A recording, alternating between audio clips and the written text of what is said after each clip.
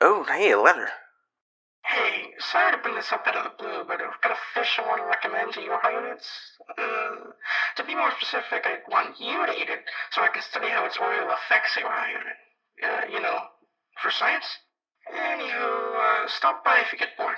It's my treat. Huh. That trustworthy NPC's giving me some free fish and says it's tasty? Oh boy, I better try it. The androids will survive. In the machine conflicts.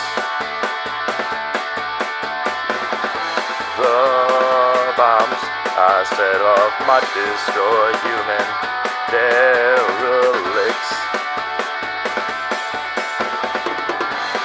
The e-drugs I develop your turn to addicts Her last backup was four hours ago. Maybe five. They're in the sands.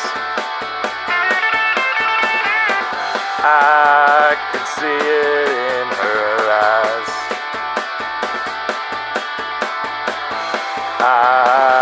give her the fresh mackerel.